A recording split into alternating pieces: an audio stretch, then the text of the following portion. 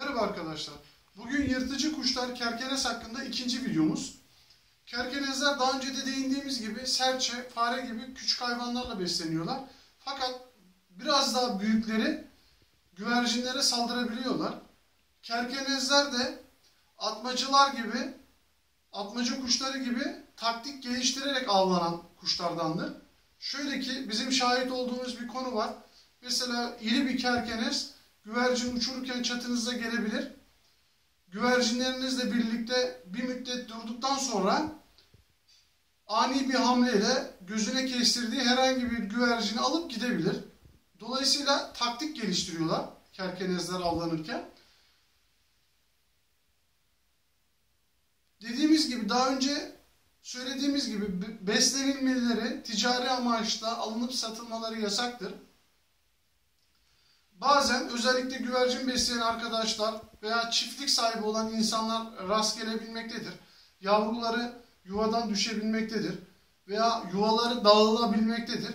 Bu kuşumuz da bir güvercinci arkadaşımızın çatısından çatısına düşmüştür yavru haldeyken. Bakıma muhtaçtı. Biz yardımcı olduk. Bir müddet besledikten sonra biz de salacağız kuşumuzu. Onu tavuk ciğeriyle besliyoruz. Tavuk ciğerlerini biraz daha küçük parçalar haline ayırarak, lokmalar haline ayırarak onun rahat yemesini sağlıyoruz. Ee, bu kuşumuz oldukça genç bir kuş. Yani çocukluktan, bebeklikten yeni çıkmış bir kuşumuz. Gördüğünüz gibi kanat desenleri e, ağaçların içinde fark edilmeyecek bir desene sahip. Gözleri oldukça iri. Sanırım bu özellik gece görüş için de gerekli bir özellik. Baykuşlar gibi kafalarını 180 derece e, çevirebiliyorlar. Yani e, düz bakarken bir anda tam gerilerini görebiliyorlar kuşlarımız. Biraz daha yakından çekim yapalım kerkenes kuşumuzu.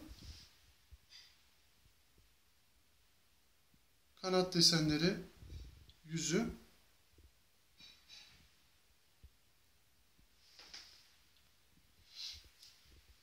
Sevgili arkadaşlar, inanın size güzel videolar çekebilmek için oldukça fazla bir efor harcıyoruz.